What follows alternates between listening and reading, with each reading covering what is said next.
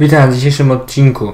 Dzisiaj chciałem wam przedstawić e, kolejną rzecz, co najmniej dziwną, ponieważ e, tutaj, tutaj sobie przeglądałem komentarze pod filmem e, na kanale Farminga i ktoś tutaj coś napisał, no i ten, i, ja mu odpisałem, że łapkę w górę daję, no i wszystko byłoby ok, ale z tego co uważa YouTube, on dodał komentarz jeden dzień temu, a ja dwa dni temu.